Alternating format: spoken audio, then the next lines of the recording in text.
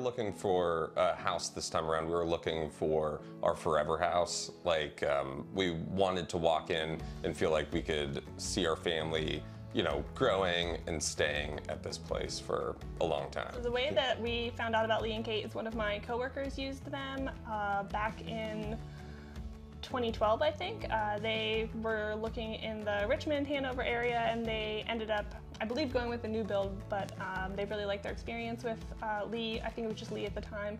And so I got her name through her um, and went from there.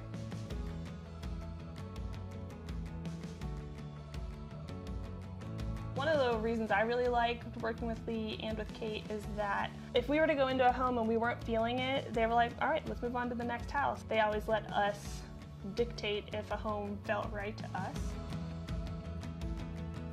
I wouldn't hesitate to refer Leigh and Kate. Yeah, if we were to ever look for a house again, or you know maybe we win the lottery and want like a secondary home, I don't know. Um, I would certainly use Leigh and Kate again and recommend them. I just think that they're they're just uh, very personable with us. They were like um, like Keena was saying, they just they didn't feel like they were just trying to sell us a house. They were trying to find us like the right house for us. It never really felt like we were pressured into doing anything.